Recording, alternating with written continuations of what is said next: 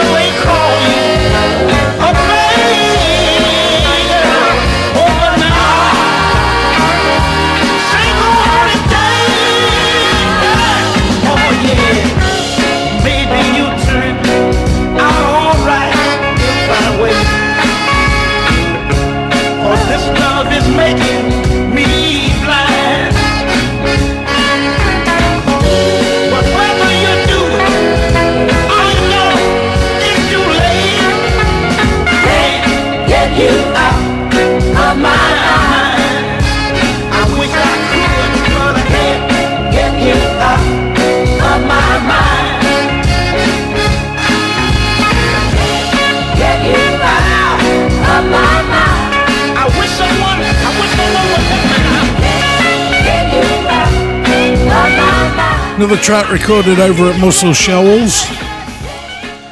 1966, Art Freeman on the Fame record label that was like next door to Muscle Shoals.